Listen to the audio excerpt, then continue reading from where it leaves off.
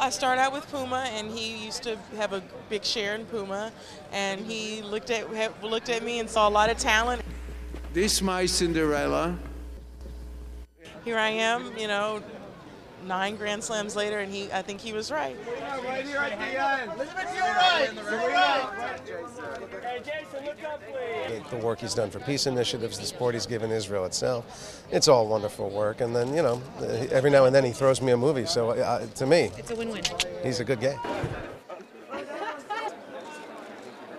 Well, I'm, I'm here to support Arnon, who's a dear friend, and and uh, and that's about it. Basically, he asked he asked me to come, and and I'm happy to be here.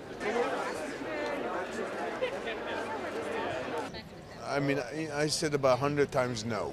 So tell me, Because Saturday, I'm shy. Food and free drinks. What brings you Then I realized uh, Well, both Arnon and. uh, it's for Israel. You can't say no. And congratulations on being honored with the Legacy of Citizens Lifetime Achievement Award.